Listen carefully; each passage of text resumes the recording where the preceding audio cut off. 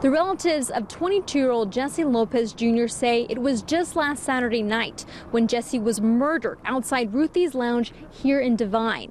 They say that Jesse was trying to break up a fight, but before he knew it, someone pulled out a knife.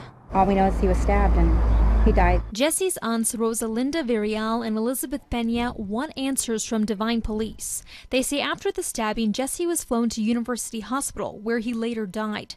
But as the family began to question what happened at the lounge, they say police were nowhere to be found. We had gone to the police station that morning. Nobody was there. Nobody contacted us nothing. So we were kind of looking for the PD, you know, what's going on? What are y'all doing? They say hours later, an officer finally came to their home. The officer began taking statements from family members who were at the lounge. But even though the relatives say they saw the man who stabbed Jesse, police have yet to arrest or charge anyone. And according to the PD, they're saying, whether they're not credible witnesses, they're relatives. There hasn't been a murder investigation in Devine since 2012, and the family wonders if police have the capability to conduct the investigation. We just feel like it's kind of maybe they're dragging their feet a little bit. I, I don't know, but nothing's been done. We just feel it's not it's not good enough. We tried to talk to Devine Police, but were told no one was available.